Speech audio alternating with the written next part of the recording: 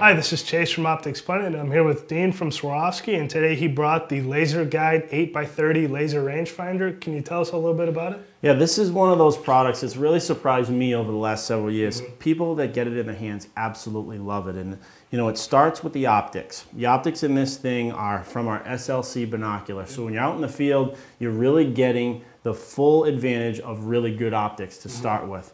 That combined with a laser that gives you accurate readings way out to 1500 yards. And the really nice thing about this is it's overperformed even our expectations in bad weather, in bad lighting conditions, on animals that are really tough to range. A black bear in the forest at, you know, 400 yards. So the quality of the laser is really good.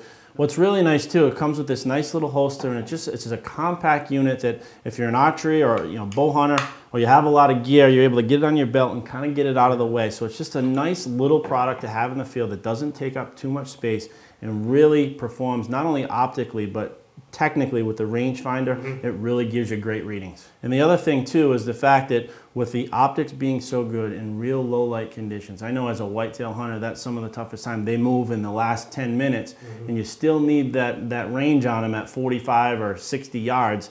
So to have the good optics and quality rangefinder built into one, it just really makes for a great tool to have in the field. Again, it's the Laser Guide 8x30 laser rangefinder from Swarovski. Uh, this item is available at opticsplanet.com. This is Chase and Dean. Thanks for watching.